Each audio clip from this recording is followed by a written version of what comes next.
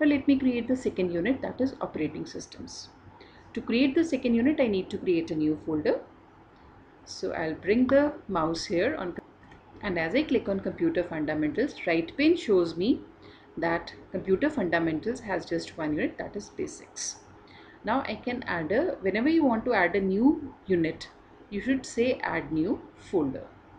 So I'm adding a new folder for operating systems. So operating systems is going to appear as the second unit in my wiki. So you'll find that operating systems has appeared here and by the level of indentation you can make out it's at the same level as at basics. Now basics had a left arrow because there were some subunits under it and as I keep on adding subunits to this you will get the arrow like this. Now I'll create the second unit by creating the documents or topics or subtopics one by one. So right now on operating system and now I will say add new page. Let me say the first part of introduction is uh, operating systems is introduction. I'll create an introduction page and to add content to this I'll have to go to Google Docs once again. Either I can type something in introduction or I have a Word document already created which contains something about introduction of operating system. I'll just copy the content from here.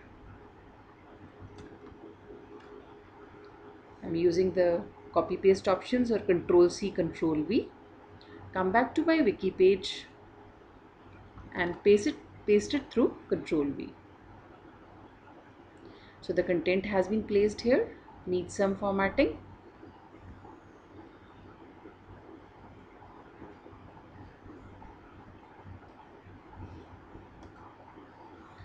So this document has been created. Again, I don't need to save it. It's a Google Doc. And now you can click on it. And whatever I type there appears over here in introduction and now you can see a left arrow appears over here indicating this operating system has got further subtopics. I wish to add the second subtopic now to operating systems and that subtopic is functions of operating system. So I click on add new page functions of OS click on create. So Google Doc is created. I can edit that.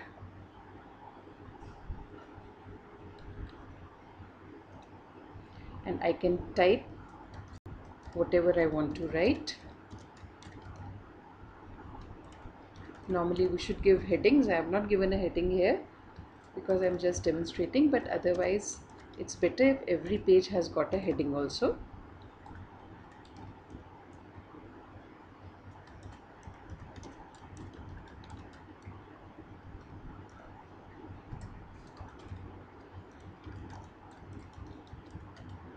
so this page is created now. And if I go to functions of OS click sorry that was introduction. Of functions of OS I click here and I get all the four functions here. Now I feel now after creating this page it would have been much better if functions of OS was created as a subheading. And under that I had four headings one for processor management one for memory management whenever we are creating online content we should ensure that the page is not very long.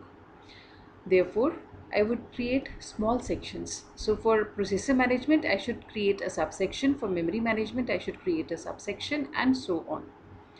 So I want to do away with this page and instead of creating functions of OS as a page or Google Doc I would create that as a folder now with the folder which is going to have four subtopics under it processor management, memory management, file management and device management. So let me see how I remove this now. So this can be removed by clicking here and saying trash. So if you don't like any content that you have created or in case you don't like any subtopic and you want to move it, remove it from the wiki, you can always remove it. So now it has been removed. Now let me add functions of operating system as a folder. So I'll say add new folder functions of OS. When it is created as a folder, it doesn't have any individual content, but it can have topics or subtopics under it. So I add a new page under it for processor management.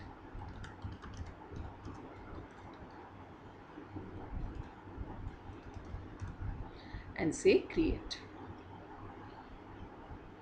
Now you'll find functions of OS has an arrow on its left side indicating it's a folder and that folder has a subtopic as processor management.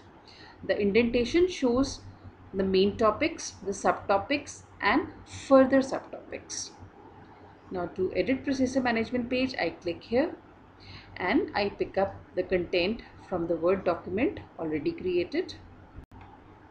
So I've selected the content for processor management, press Ctrl C and Ctrl V. So the content for processor management comes here. The next topic I add after it, a new page that is for memory management. So like this, I can add the subtopics for functions of OS.